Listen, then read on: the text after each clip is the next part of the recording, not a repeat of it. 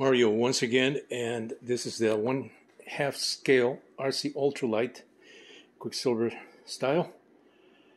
I've been putting a little more time into this uh, the frame here, and uh, I couldn't wait to complete the uh, tail section. This is still missing uh, two two sets of rods per, per side, uh, diagonals bracing this way and that way.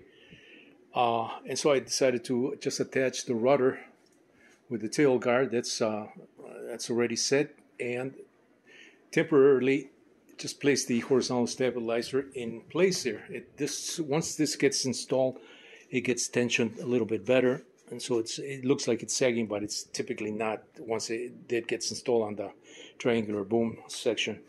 So I've been uh, working on this uh, today.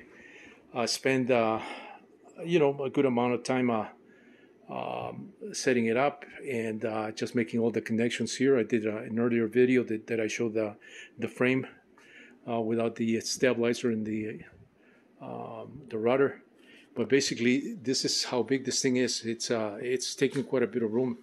This foot here is um, this this room here is um, it's about 16, um, 16 feet, 18 feet uh, wide so you can see how big this thing is, uh, and I don't even have the, the tires. the tires are going to add a, a, quite a bit of a, uh, a, a, little more um, a little more mass, you know, at the at, on the bottom section there. So that's uh, I'm I'm taking my time with the wheels with the tires because I have to uh, I have to create a new tool for that particular size. You know, same type of cutter that I use on the front end uh, tire, but the rear one it's got to be a little bit wider, and so I have to make that tool almost customize that tool so that I can cut the tires for that for for those uh, um, for those hubs.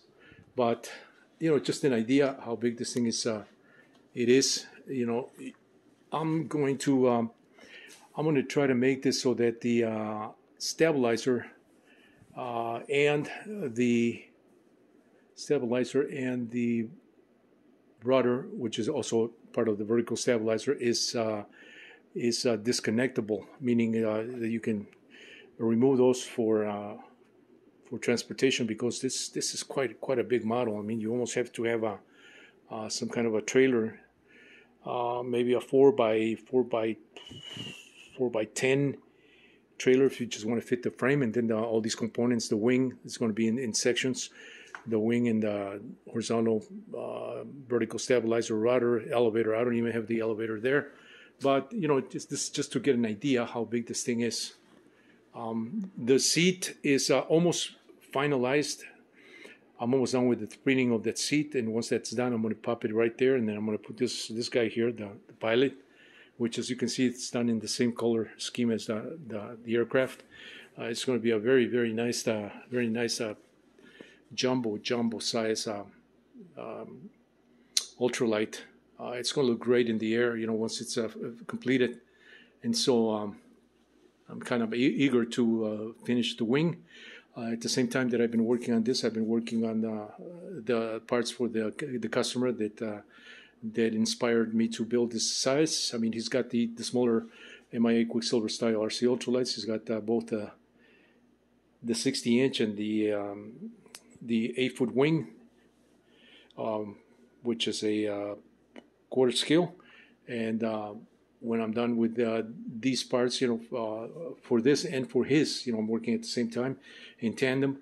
Uh, he'll have uh, also all the parts, you know, to all, all the, the control surfaces in the main wing he is going to build his own frame, so I'm not concerned about uh, you know having to ship this. But I built this just to have all the reference uh, uh, dimensions, you know, to um, ready for him to uh, build his, you know, with uh, uh, pretty much the same way I'm building mine.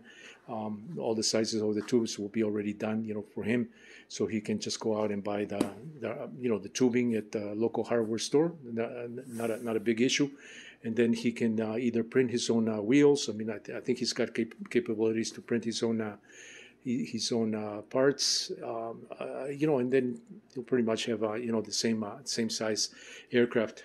Um, so this is just um, another update.